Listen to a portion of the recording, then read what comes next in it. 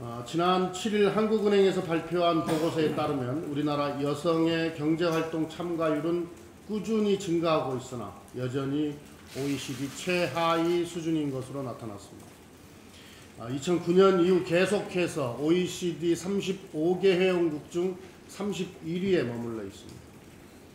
여성의 경제활동 참가율이 낮은 배경은 여성의 육아 부담과 남녀 임금 격차입니다. 우리나라는 남녀 임금 격차도 OECD 국가 중에서 가장 큽니다. 2016년 기준 남성 중위 임금이 100일 때 여성 중위 임금은 63으로 격차가 37%에 달합니다. OECD 평균 14%의 3배에 가까운 수준입니다. 더불어민주당과 정부는 남녀 임금 격차 문제를 해결하기 위해 적극적으로 노력하겠습니다.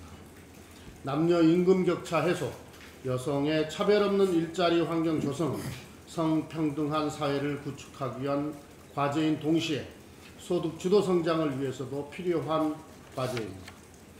그리고 해외 선진국 사례를 보면 남녀 임금 격차가 작고 여성의 경제 활동 참가율이 높은 나라들이 출산율도 높습니다. 성별 임금 격차를 줄- 줄이고 여성의 경제 활동 참여를 지원하는 것은 저출산 문제 해결을 위해서도 필요한 일입니다.